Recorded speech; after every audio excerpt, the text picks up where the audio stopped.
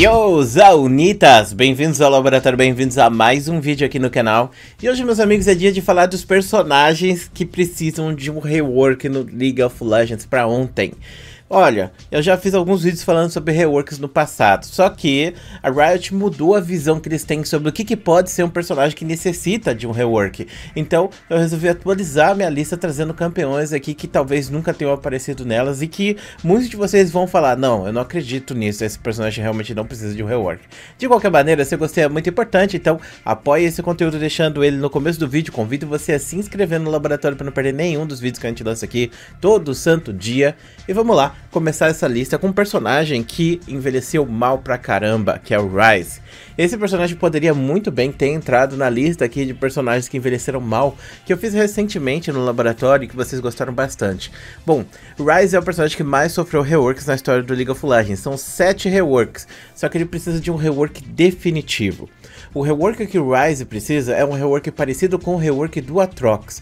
O Atrox ele sofreu um rework que perdeu as origens do campeão, e o Ryze também passou muitas vezes por isso. Só que o problema do Ryze é que ele gera uma crise de personalidade gigantesca, aonde hoje você não consegue imaginar qual era o gameplay do Ryze há 5 anos atrás, e se você for voltar para 5 anos atrás, você não conseguiria imaginar o gameplay do Ryze durante o começo do League of Legends. O personagem mudou demais, originalmente ele era um mago, aí depois ele se transformou numa metralhadora de spells que estava dando em área, e agora ele se transformou nesse mago aí de utilidade da rota meio. E é um personagem que historicamente tem muitos problemas no League of Legends. Ele não pode existir, a Riot não quer que ele exista. Então, para que ele possa existir, para que ele possa ter uma taxa de vitória positiva, para que ele possa ser escolhido pelos jogadores, eu acho que a Riot deveria fazer um rework no personagem. O gráfico dele, para mim, está ótimo, então seria um rework que focaria principalmente na parte de gameplay. Bom, agora a gente vai falar do Azir.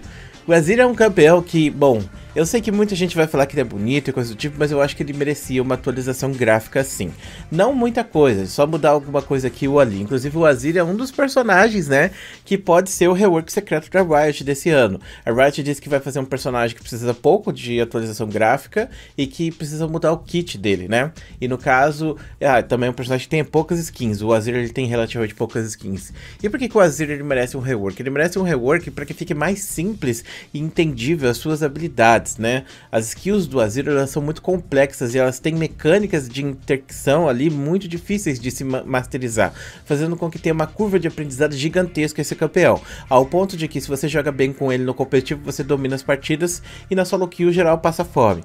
Então eu acho que seria interessante que a Riot fizesse uma atualização no, no Azir para que ele ficasse mais simples, para que ele ficasse mais acessível, por assim dizer. Não tô falando de tirar mecânicas dele, porque eu sou completamente contra Eu acho que quanto mais complexo for o League of Legends, melhor vai ser, porque vai ter maior expressão de habilidade. E o Azir é um desses campeões que tem muita expressão de habilidade, mas eu acho que deveria ser mais simples para você pegar o personagem e entender que certas habilidades dele combam umas com as outras. Então eu acho que se a Riot fosse fazer um rework no personagem, eles não precisariam destruir ele ou remover todas as habilidades, mas fazer com que ficasse mais entendível e principalmente balanceado, porque um dos problemas que esse personagem tem é o mesmo do Azir, do Ryze, aliás, que não pode ser escolhido no League of Legends. Bom, agora uma personagem que merece um rework e eu gostaria muito, mas como eu gostaria que essa personagem tomasse um rework amanhã. E é um rework completo, de lore, de gráfico, de skill, que é a LeBlanc. A LeBlanc é uma personagem que ela sofreu um rework algum tempo atrás e ela tomou um dework. É uma das poucas personagens do League of Legends que passou por isso. O que, é um dework? É quando a Riot faz um rework no campeão, dá ruim, as pessoas não gostam desse rework e eles vão e voltam o campeão para como ele era originalmente. Eu sei que muita gente vai falar, por que o Atrox não tomou esse dework então? Porque o Atrox Clan, ele sofreu um rework completo de gráfico também e narrativa. Então, eu acho que para Riot voltar atrás seria um trabalho gigantesco. Então, só o fato deles terem gasto um ano nesse rework do Atrox, mais de um ano no caso, acho que já faz com que eles não queiram fazer com que o personagem volte a ser como ele era antigamente. Agora, no caso da LeBlanc, a gente só teve uma mudança de habilidades na campeã, onde ela ganhava aqueles clones que ela poderia colocar esses clones em qualquer lugar do mapa, né? Algo que remete bastante à lore dela. Mas de qualquer maneira o rework não deu certo e a Riot acabou desfazendo ele e colocando a personagem num limbo eterno. Só que eu acho que a LeBlanc ela merece uma atualização grande de lore, de gráfico, porque ela é uma personagem interessante demais. Ela é uma das maiores antagonistas de Runeterra, ela é uma grande vilã mesmo, ela é uma personagem que faz a maior maldade por lá e no League of Legends ela não remete nada disso, é só uma maga aleatória que aparece ali na rota meio, toma 3 hits, vira duas e depois morre. A LeBlanc é uma ótima assassina também. Eu acho que a Riot poderia colocar esquemas, por exemplo, de reset de habilidades nela, que eu acho que funcionaria muito bem para temática da campeã e também para combater com os Noxianos, né, que geralmente tem esse tipo de habilidade, né? Por exemplo, os assassinos como a Catarina, né? Então eu acho que seria bem legal que, por exemplo, quando você mata um adversário, você pegasse um W a mais ou coisa do tipo, para ficar parecido com o Urf, que é um gameplay muito divertido. A LeBlanc no Urf ela tem um gameplay divertido por causa da alta mobilidade que ela tem. Inclusive, tem vários vídeos de coreanos jogando no Urf com ela, que é, é um bagulho muito legal. E eu acho que não perderia tipo, a coisa dela, né? Tipo, a origem da personagem. Uma coisa interessante é que a personagem já sofreu um redesign no Legends of Runeterra e ela tá muito mais linda lá do que ela tá no League of Legends. Se essas roupas tosqueiras que ela tem no LoL, que vai saber o que, que é isso, né? E muito mais humana, muito mais interessante. Eu gostei bastante do que eles fizeram por lá e eu acho que seria muito legal que eles colocassem isso no LoL. Bom, Agora a gente vai fazer do, falar do Varus, né? Que inclusive antigamente eu chamava ele de Varus, sabia? Por causa dos inglês lá, sabe? Então, bom, enfim. É, o Varus é um personagem que, tipo assim, ele tem uma crise de personalidade gigantesca. Tudo bem que eles são três personagens em um, né? O Varus ele é a fusão de dois corpos e de um Darkin. Mas o problema do personagem é o seguinte, a Riot não sabe o que faz com ele. Originalmente o Varus era pra ser um personagem de dano à distância, um atirador normal, que causaria dano com o Q dele. Inclusive tem um personagem no Dota, que é o Wind Runner, que basicamente faz isso aí. O Runner vai lá e, e solta umas flechas à distância, dá dano pra caramba. É um gameplay bem divertido, o Runner tem, mas ela é muito mais móvel do que o Varus, né? O Varus ele é aquele personagem que, tipo, se você chegou no Varus pra dar porrada, já era, acabou. Por isso que ele tem muitos recursos, né? Pra pegar e manipular o gameplay. Por exemplo, o ultimate dele que stuna, o E dele que dá lentidão e tal, e, e o W que dá um dano explosivo às vezes. Só que aí é aquilo muita gente começou a jogar com vários AP. E a Riot não aceitou que o Varus fosse AP, nerfou o campeão. Depois o personagem foi jogado na rota meio com penetração de armadura. E a Riot nerfou o campeão porque não queria que ele fosse jogado com penetração de armadura. Aí ele foi pra rota inferior jogar com builds de ataque básico, né? Que é aqueles builds de on-hit com rei destruído, lâmina do guinso. E aí a Riot nerfou isso também porque não queria que ele fosse escolhido dessa forma. E aí depois disso o pessoal começou a jogar com crítico nele. A Riot falou não, não, não. E foi lá e nerfou ele de novo.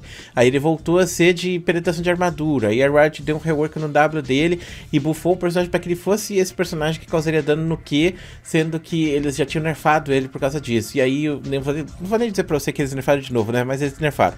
E aí o personagem ficou nessa merda aí que ele tá. E eu pergunto pra você, mano, tipo, o que, que o Varus pode fazer no League of Legends? Nada? Porque tudo que o Varus fez na história do League of Legends ele foi nerfado e estragado, né? Atualmente ele voltou aí pra ficar interessante como AP. Inclusive eu tô pra fazer alguma coisa com ele AP, mas já faz um tempo, né? Que eu falei que ia fazer um vídeo do Varus AP e nada, né? Tem que aproveitar antes que a Red Nerf. De qualquer maneira, ele precisa de um rework de habilidade que direcione o que ele é, porque atualmente a gente não faz ideia do que o personagem é. E a gente precisa de um rework também de gráfico no personagem, porque ele é um dos personagens mais antigos do LoL, e também que faça com que ele fique mais próximo do que ele é nas lores, do que ele é nas splash arts e coisa do tipo. O Varus, dentro do jogo, ele fala sobre corrupção, um monte de coisa assim, sendo que não tem nada a ver, por exemplo, com a lore atual dele. É um personagem que tem uma dissonância ludo-narrativa gigantesca. Olha aí, ó, palavra nova pra vocês, hein? É quando você tem uma narrativa do personagem, uma história, e dentro do jogo não tem nada a ver aquilo. Isso remete ao Last of Us 2, inclusive, que você tem a Eli lá falando, ah, não, não vou matar ninguém, não, eu vou ser boazinha, e no final das contas, quando você tá jogando gameplay, você tá lá matando os cachorros da galera, arrancando a cara do pessoal, espancando todo mundo com tijolo, alta violência. Aí na CGzinha, não, não, eu sou boazinha, sabe? É mais ou menos isso aí que é dissonância da narrativa e o vários tem bastante. Bom, Vamos falar do Ivern, né? O Ivern é um personagem que a Riot prometeu um rework há dois anos atrás e eu estou esperando esse rework até hoje. Eu me pergunto o que aconteceu com o rework do Ivern, né? O Ivern precisa de um rework para existir, porque é um personagem que é banível do League of Legends. Ninguém joga com esse campeão e, e eu, sinceramente, já até cansei de pensar o que a Riot queria quando fez o Ivern, porque do que adianta você fazer um campeão diferente e você nerfar ele por ser diferente? Não faz sentido nenhum, na minha opinião. E eu já comentei o Ivern diversas vezes aqui, vocês sabem que o Ivern precisa de um rework, então eu nem vou me estender muito nesse personagem personagem, mas eu gostaria que ele fosse refeito, principalmente nas habilidades. Eu acho que ele precisa de um rework de habilidade não gráfico, sabe? O gráfico dele tá ok. Embora que é um personagem que não tem tanto atrativo para vender skin, talvez por causa disso também ele nunca receba essa atualização. Eu acho que o Ivern só vai receber uma atualização se ele for votado, porque eu acho que a Riot não tem interesse nenhum de refazer o campeão. Bom, agora vamos fazer, falar da Thalia, né? A Thalia é uma personagem que eu amo de paixão, é a personagem favorita da Rota Meio. Eu gosto muito dela. Aí eles estragaram a personagem e jogaram pra selva, né? A Riot é fogo, mano. Ela pega os meus mains e joga tudo pra selva. Primeiro foi o Graves que foi pra selva, depois a Thalia. Eu me pergunto se a Kayle vai virar caçadora logo logo, né? Não duvido não, mas de qualquer maneira, a Thalia, ela é uma das personagens que está cogitada pra ser o rework secreto junto com o Aurelion Sol. Inclusive, vocês vão me criticar por não colocar o Aurelion Sol nessa lista, mas eu não coloquei ele porque eu acho que o personagem, ele tá bem do jeito que tá, ele só precisa de rebalanceamento. O gráfico dele, eu não consigo imaginar ele tomando um rework gráfico.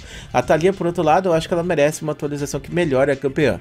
Graficamente, ela é bonita, ela é linda, pode ser atualizada para os padrões atuais, com certeza absoluta, só que a gente precisa que ela sofra um direcionamento, assim como vários, mas um direcionamento que não seja cagado da forma que está sendo feito, sabe? Porque é o seguinte, o Varus, a gente não sabe o que ele faz, a gente não sabe onde ele vai, a gente não sabe para onde esse personagem vai em algum momento. Já a Thalia a gente sabe, porque a Thalia era mid e a Riot colocou ela na selva, só que ela não tem recurso nenhum para fazer a selva. Então acho que a Riot poderia de decidir, falar, pô, vai ser caçadora mesmo, bota aí um recurso para ela fazer a selva, sei lá, uma cura quando ela acerta uma pedra, alguma coisa assim, sabe? Ficar mais tanque contra monstro, ganhar algum tipo de escudo, qualquer coisa, só para fazer a selva mesmo. Eu acho que ela precisa disso para ser uma personagem mais legal, sabe? Tipo, ela precisa de algo que faça com que a selva dela não seja tortuosa do jeito que é. E também que não faça a bola de neve gigantesca que essa personagem vira. Então, ela precisa de uma atualização para isso. Do jeito que a Riot tá fazendo, é tipo, ah, vai lá na selva, vai, se vira ali, sabe? Aí as pessoas vai falar, a Thalia tá, tá fazendo a selva não, que Riot. Aí a Riot, ah, tá bom, toma três de armadura aí, se vira aí agora. É mais ou menos assim que a Riot faz, sabe? Parece que há um grande desgosto com essa campeã e eu fico muito triste com isso. Agora a gente vai falar da Riven. A Riven é uma personagem que, bom, muita gente já deve estar tá surtando aí. Meu Deus, Dark, como assim? A Riven precisa de um rework? Ela precisa de um rework gráfico pra ontem, né? Pelo amor de Deus. Quando você vê a Riven do jogo com a Riven que aparece no CG lá do Awaken, é, é um bagulho completamente diferente. Inclusive, tem já um rework da Riven que foi feito por fãs que ficou maravilhosa. Então, ela precisa de um aço, né? Os gráficos dela precisam de atualização. Gameplay nem tanto. Só que eu acho que a Riven pode passar por uma mudança, tipo a mudança que eu sugeri pro Azir. Uma mudança que foque principalmente no gameplay dela ficar mais fácil de entender, sabe? De você saber quais são as mecânicas que interagem ali entre elas. Não tô falando para remover os combos da personagem. Ela é a personagem que tem mais combos do League of Legends e eu quero que ela continue assim, até porque ela foi feita para ser uma personagem de jogo de luta dentro do LoL. Ou seja, uma personagem que você pode combar as habilidades, todas as habilidades entre elas e, e fazer combos tipo de 30 botões, coisa do tipo. Não tô nem brincando, você consegue fazer isso com a Riven. E eu quero que ela continue dessa forma. Só que ela precisa que fique mais fácil, mais entendível, mais claro que você pode fazer isso. E principalmente o gráfico, né? Pelo amor de Deus, a Riven, ela aparece dos bagulhos, era maravilhosa. Agora, quando ela tá dentro do jogo, é um bagulho tosco. Agora a gente vai falar de um personagem que gerou muita polêmica esse ano, que foi o Tryndamere. O Tryndamere gerou polêmica porque as pessoas estavam falando que ele tinha que tomar rework, né? E aí a Riot colocou ele na enquete de reworks de 2000 e... 23, né, no ano que vem. Só que aí aconteceu que a comunidade começou a reclamar, porque a Riot falou que ia manter o Ultimate do Tryndamere e que eles queriam que o Tryndamere fosse o personagem mais split push da rota topo. E a galera surtou. Nossa, como assim? O Tryndamere vai manter o Ultimate dele que é tóxico pro jogo, porque o Ultimate dele deixa de imortal, porque a pior coisa que tem no LoL é esse Ultimate. Meu Deus do céu, tem que tirar isso aí, não sei o que. E aí começaram a surtar e falar do Tryndamere. Rendeu três vídeos aqui no laboratório, inclusive esse tema aí, essas notícias, né? Cara, sinceramente, tipo, olha pro personagem e fala, pra mim mantinha o ultimate dele, sabe? Pra mim mantinha o estilo de gameplay de ataque básico também. Ele precisa de um direcionamento, mas tá bem tranquilo, porque o personagem já vai na rota topo e o pessoal joga com ele pra fazer split push, sabe? Então ele funciona dessa maneira, ele é um pouco hipercarregador, embora não existam mais hipercarregadores do League of Legends, né? Só acho mesmo que, tipo, ele precisa de uma atualização gráfica, né? Pelo amor de Deus. Antigamente, a Riot estava numa fase assim de fazer todos os campeões serem meio humanoides genericões, sabe? Você tinha o Tryndamere e você tinha o Gangplank que passaram por essa atualização. E os dois personagens originalmente, eles eram gigantões, sabe? Tipo, Os caras eram, tipo, gigante mesmo, sabe? Porque eles são bruisers, né? São lutadores. E eles precisam ser grandões, né? Pra encaixar na temática do League of Legends. Só que o Tryndamere é um bárbaro magrinho. Tipo, que porra é essa, meu irmão? Então ele precisa de uma atualização. O Gangplank tomou um rework depois, né? Um rework em cima do rework. E aí eles pegaram a temática do Gangplank e fizeram o personagem ficar grandão, gigantesco. E é isso aí, mano. O Tryndamere precisa do mesmo tratamento que o, que o Gangplank. Eu gosto do Tryndamere, acho o gameplay dele divertido, por mais que possa até soar estranho isso, porque ninguém gosta de Tryndamere, mas de qualquer maneira é um personagem que eu gostaria que fosse mais balanceado ou mais escolhido, né? Bom, agora vamos falar sobre o Jax, né?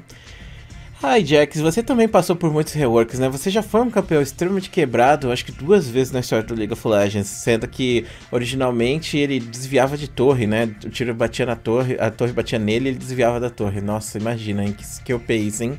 Bom, de qualquer maneira, o Jax é um personagem bem interessante. Eu acho que ele precisa de um rework no mesmo estilo do Varus, sabe? Porque ele precisa que esses gráficos dele vão embora e ele tenha uma narrativa melhor, sabe? Primeiro que, tipo assim, o Jax originalmente ele era um cara. Não, tipo, vamos lá, qual versão do Jax, né? Porque agora até me embananei. A primeira versão do Jax, ele não era um cara, ele era um alien, alguma coisa assim. E ele simplesmente chegou do League of Legends, quebrou todo mundo na porrada. E essa é a história mais popular do Jax. Inclusive, até hoje a galera lembra dessa história como se dá a história do Jax. Só que essa história tomou rework duas vezes. Depois do segundo rework, ele se transformou num personagem aí, andarilho de Runeterra. E no terceiro rework, a gente teve o personagem se transformando, né, na última luz de Ikatia. Então, o Jax, ele foi um personagem de Ikatia, que era um lugar de Runeterra que foi invadido pelo vazio.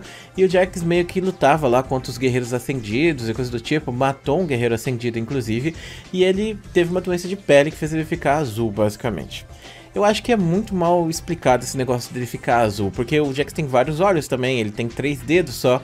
Não faz sentido ele ter ficado azul e perdido dois dedos, né? Não faz sentido nenhum, nada disso. Então eu acho que precisa ter uma atualização aí para deixar o personagem mais crível. Sei lá, explica que ele é realmente um homem, ou explica que ele é realmente um alien, um bicho do vazio, sei lá, qualquer coisa. Precisamos de uma explicação para entender o que é o Jax. O Jax é um dos maiores mistérios de Runeterra, na minha opinião. Porque você olha pro Jax e pensa, que porra é essa aí? É isso aí que você pensa. Gráfico precisa de atualização, narrativa precisa de atualização e precisa de atualização em algumas skills dele que eu não jogo de Jax por causa disso. O Jax ele tem um problema muito grande com hitbox. A hitbox dele é menor do que o modelo gráfico dele, o que faz com que quando você bate nos adversários, você parece, parece que tá dentro do adversário, sabe? Eu não sei se você sente isso com o Jax, mas pra mim é um problema grave, porque dá um, sei lá, uma sensação de você tá errando as skills, mesmo que ele não tenha nenhum disparo de precisão, sabe? Dá uma sensação de que você não consegue perseguir ninguém também. Dá uma sensação de que você tem que estar tá muito próximo do adversário. É meio estranho isso, sabe? É como se ele tivesse o menor alcance do League of Legends, mas ele ele não tem, ele tem um alcance médio com os personagens corpo a corpo, que se não me engano é 100, 150, alguma coisa assim. Mas quando você bate com o personagem por causa desse problema de hitbox é estranho, sabe? E também é difícil você acertar o Jax quando você está jogando contra ele, é um bagulho que deveria ser melhor explicado, na minha opinião, né? Bom, e para finalizar, o personagem querido do nosso amigo Sercat, um grande salve aí pro Capitão Sercat, que é o Rumble. O Rumble precisa de um rework duplo, viu? Desculpa, clã, mas o rework precisa afetar as habilidades dele também. Eu sei que muita gente ama o Rubber do jeito que ele tá. Eu particularmente acho o personagem bem legal, só que eu acho que ele precisa ter um balanceamento melhor, sabe? Tipo, uma qualidade de vida, vamos dizer assim. As habilidades dele são muito complicadas, elas não interagem entre si, ao mesmo tempo de que, tipo, ele fica muito abusivo por causa de épocas onde o Q dele quebra a rota toda, sabe? E aí eu acho que eles poderiam fazer uma atualização para que não ficasse só dependente de usar o Q o tempo todo, sabe? E fazer certos builds que quebram o personagem. Eu acho que a gente poderia fazer com que o Rumble fosse melhor nesse aspecto e fazer com que o ultimate dele fosse mais fácil de acertar. Por quê? Porque muita gente fala que o skill shot mais difícil do League of Legends é o E do Victor e o Ultimate do Rumble por causa da forma que eles funcionam, né? É diferente de tudo que existe no League of Legends. Se você nunca jogou com esses campeões, que é bem capaz que você nunca tenha jogado mesmo, eu recomendo que você vá lá e pegue eles no custom e veja como é legal você usar o E do Victor ou o Ultimate do Rumble pra você ver como é bizarro. Você tem que fazer um risco no mapa, é um bagulho meio estranho. E eu acho que poderia ser mais simples isso, poderiam ter simplificado e eu acho que um rework de qualidade de vida ajudaria bastante nisso. E gráfico, né? Principalmente gráfico. Rumble, ele é um personagem que não é dos mais antigos do League of Legends, né? Ele saiu lá em 2012, se eu não me engano, até mesmo depois disso. E, cara, o Rumble é feio pra caramba, mano. Ele, na época que ele saiu, ele já era feio pra caramba. Ele, tipo, a Riot deu dois passos pra trás pra fazer esse campeão. Parece até que eles ramelaram ele de propósito, porque é pra ser feito de lixão, né? Tipo, originalmente o Rumble e o Hammerdinger, eles eram rivais, e o Rumble ele fazia coisas com lixo, enquanto o Hammerdinger fazia as coisas lá em Piltover. E aí, no caso, o que aconteceu foi que o Rumble, bom, enfim, ficou que nem um lixo, literalmente, né? Bom, enfim. Tá aí a minha lista de personagens que, na minha opinião, precisam de um rework. Eu espero que você tenha gostado desse vídeo. Muito obrigado por assistir até aqui. Muito obrigado por ser essa pessoa maravilhosa. Um grande beijo, um grande abraço e a gente se vê depois.